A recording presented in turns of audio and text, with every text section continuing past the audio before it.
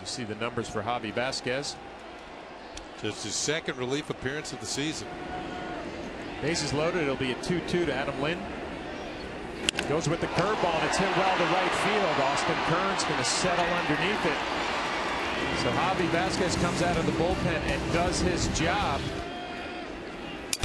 Broken bat right back to Vazquez. He's going to flip to Teixeira and the Blue Jays going to leave those two men players. But he had a big day in the big leagues. Change ups, strike three. Lind out.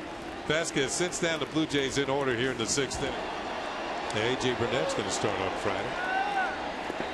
2-2 swing and a miss on a good slider down and away from Javi Vazquez. Way ahead on the count. 0-2 breaking ball hit hard, but a one hopper for Jeter. And now it's 10 in a row retired by Javier Vazquez as the Blue Jays go in order here in the eighth inning.